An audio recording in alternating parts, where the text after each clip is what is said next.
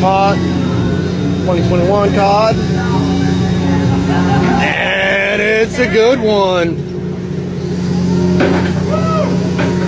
Uh, eight hour soak on that. And uh, that's looking uh, pretty fucking healthy. Good times.